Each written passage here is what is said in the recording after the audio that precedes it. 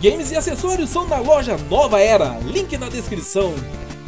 Bem, beleza, eu sou o Weber, isso aqui para comentar a cutucada histórica que a Nintendo e a Microsoft deram na Sony. É isso daí. Algumas pessoas já estavam especulando que poderia acontecer uma união de forças entre a Nintendo e a Microsoft, mas muitos duvidaram de que isso realmente fosse acontecer. Mas rolou e foi hoje numa no trailer de divulgação do Minecraft que está saindo hoje mesmo para o Nintendo Switch, beleza? Então o que que eles colocaram aí? É o trailer, esse daí do Minecraft para o Nintendo Switch, é o trailer de crossplay. Então tá aqui a moça, né, com o controle do Xbox, cadê aí? E o rapaz com o controle do Switch. Consegui errar a pausa duas vezes aí no controle dos dois, mas dá pra ver aí o controle da Xbox num trailer da Nintendo, mano. Isso daí é algo assim de explodir a cabeça mesmo. Daí rola o trailerzinho, ele é bem curtinho, mostrando aí o jogo que vão poder picaretar junto, pegar diamante junto, abraço fiasco. É, tem aí o. mostrando a função jogando. É, no portátil do Switch também. E ó, destaque, velho, Xbox bem grandão aqui na tela. Aí a anedota mesmo aconteceu aqui no finalzinho.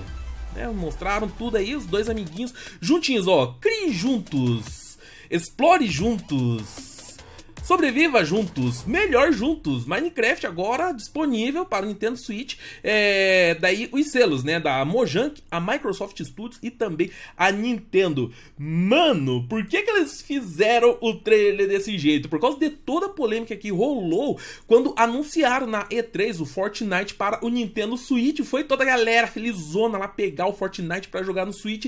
E o negócio não dava para logar no Fortnite com a tua conta que você já tinha antes, se a tua conta tivesse já é, registrada numa conta da Sony, do PlayStation 4. Ou seja, não dá para fazer crossplay entre o Switch e o PlayStation 4 e nem compartilhar as contas. E isso daí de compartilhar as contas é pior ainda.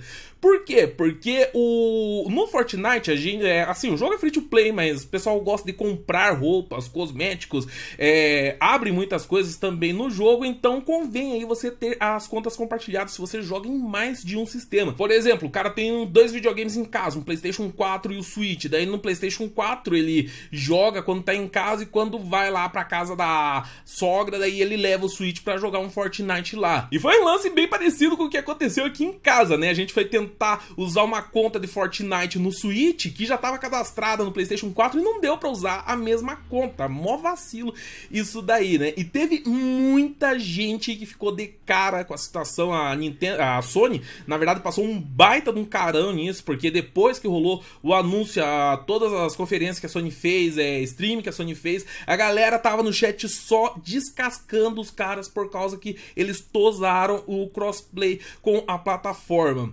Depois foi uma das pessoas que trabalhou na Sony explicar por que, que a Sony fez isso, por que, que eles não queriam saber de crossplay e era bem o que a gente já imaginava, né? Por causa de dinheiro. Não era exatamente que eles achavam assim que ia é, fortalecer a concorrência se abrisse o crossplay para as outras plataformas, mas sim porque eles não se sentiam à vontade que algo comprado na loja da Sony pudesse ser usado em outras plataformas, em outros consoles da concorrente. Apesar que isso daí também é um grandíssimo de um vacilo, porque é, para você jogar o Fortnite no PlayStation apesar do jogo ser gratuito, para jogar no PlayStation não é gratuito. Você precisa de uma conta paga, você precisa da PSN Plus para jogar. Então a Sony, de qualquer forma, eles recebem com isso. A Sony chegou a disponibilizar alguns itens é, exclusivos lá para você logar no PlayStation 4. Você loga no PlayStation 4 consegue baixar os itens pro Fortnite. Tem isso daí que se você pudesse, né, é, logar com outras contas de outras plataformas, daí você poderia usar o símbolo da Sony nas outras plataformas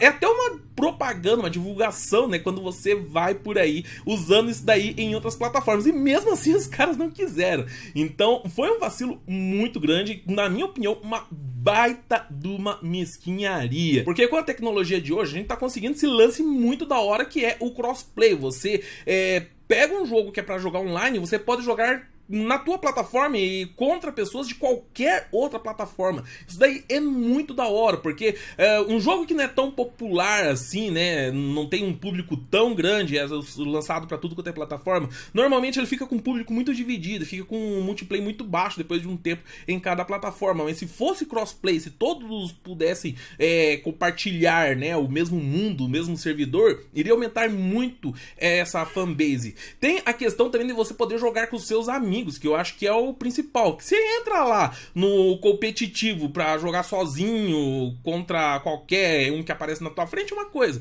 Mas se você conhece amigos, é, tem amigos que tem videogame, tem um videogame diferente do teu, mas quer jogar um Fortnite, alguma coisa é, no online e tem o crossplay, você podem jogar junto mesmo tendo videogames diferentes. E o que conta daí na hora de comprar um videogame não é a fanbase dentro do universo online, e sim as outras coisas do videogame mesmo, como serviços, controle, preço, a, o desempenho dos jogos e tudo mais. Ainda tem essa parte competitiva nos outros elementos das plataformas, mas o, o, o, o online fica todo integrado.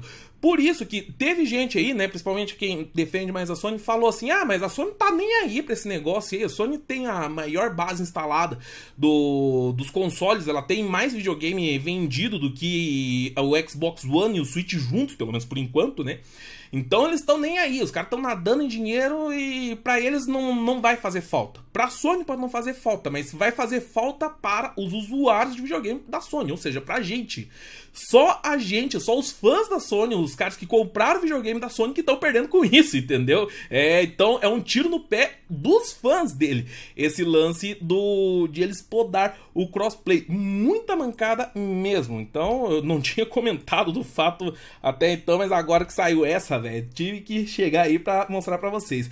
E a zoeira não terminou aí, tá? Foi também pro Twitter, saca só, abrindo aqui para vocês, o Twitter, a Nintendo da América postou lá. E aí, Xbox, desde que, é, desde que nós é, podemos jogar juntos no Minecraft agora, você quer construir alguma coisa? Daí o Microsoft já falou: opa, camarada, você está pronto? Vamos construir alguma coisa juntos? Ah, mano, Nintendo e Microsoft e Xbox trocando figurinha no Twitter, velho.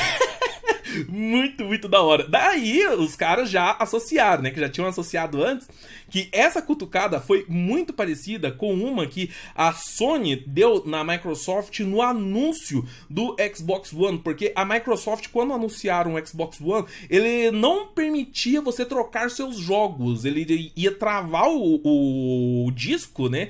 E aquele disco você colocasse no aparelho, você só iria poder rodar naquele aparelho. Aí a Sony fez uma piadinha lá lá mostrando, né? Ó, como que você vai trocar seus jogos na Sony? Você só passa pro outro e acabou.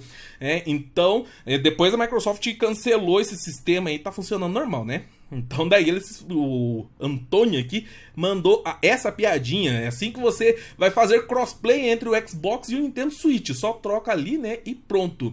Então vai ter mais. Os caras estão descascando aqui na na no Twitter, nos comentários, também tem muita gente. A Sony ali, Forever Alone. Mano, Forever Alone, cara. O PlayStation vai virar videogame de Forever Alone. Putz, que pariu. Então tá, galera, se matando, brigando lá, né? E foi isso o que rolou então no Twitter. Lembrando o, um pouco da história, né? Tem muita gente também que comentou sobre o lance do Fortnite que não. Isso daí não é uma exclusividade da Sony. A Microsoft já tosou crossplay entre o o PlayStation e o Xbox antes, né, quando a Microsoft estava por cima da carne seca, e a Nintendo também é bem protecionista com o seu conteúdo. Mas uma coisa que a Nintendo realmente é mais é hater da Sony. Isso daí é desde muito antigamente. Lá na época do Super Nintendo, a Sony e a Nintendo iam fazer um acordo para produzir um drive de CD para o Super Nintendo, ia virar o Super Nintendo CD, que até acharam esses dias aí um protótipo dele que que era real, tava funcionando fato histórico pra caramba, né? Mas tinha esse lance aí da Sony com a Nintendo e a, a Nintendo eles estavam fazendo o acordo com a Sony, não viram lá quando eles fizeram o acordo que a Sony ia ter uma, um ganho muito maior do que a Nintendo na venda dos jogos. Tipo, a Nintendo ia ser quase uma subalterna da Sony nesse papel. A Nintendo não gostou e em vez de simplesmente só cancelar o acordo, ficou por isso mesmo, eles esperaram numa convenção grande pra caramba, que tava todo mundo é, esperando que fosse anunciada a parceria da Sony e da Nintendo. Em vez disso, eles subiram no palco e falaram: a gente tá com uma parceria com a Philips, que era uma das maiores concorrentes da Sony em eletrônicos na época. E eles vão fazer o Philips CDI e os nossos jogos vão sair de CD, vão sair exclusivamente para a, o Philips CDI. E, pô, foi um choque do caramba na época. E, hum, segundo os jornalistas tal, o, a Nintendo fez isso daí em retaliação, né, por causa da, da, da vamos dizer assim, do jeitinho, né, da, da escondidinha que a Sony tava dando lá no contrato né? Com esse acordo aí da Nintendo da Philips saíram algumas pérolas da história aí dos personagens da Nintendo, que nem o Excuse Me, Princess do Zelda, né? Do Link lá, aquele jogo psicodélico do Mario e outras coisas aí que, nossa, só serve pra meme hoje em dia, né? Mas, e eles fizeram isso daí só pra ferrar com a Sony mesmo. E hoje eles fizeram isso daí praticamente a mesma coisa mais uma vez para ferrar com a Sony de novo, né? Numa das onadas mais épicas que a gente viu aí nos últimos tempos entre as produtoras de games. Então tá aí um pouquinho do que rolou para vocês, beleza? E vou ficar agora no aguardo. O que, que vocês acharam aí da tirada da Nintendo e da Microsoft? Será que vai ficar só nessa daí da do Minecraft mesmo? Ou eles vão fazer mais parcerias? Vão realmente unir forças contra a Nintendo, contra a Sony? O que, que vocês acham? Então comente para nós, clique no gostei, compartilhe o vídeo com os seus amigos. Se esta é a primeira vez que você está por aqui, inscreva-se para acompanhar os lançamentos. Eu vou ficando por aqui. Nos vemos no próximo vídeo. Falou!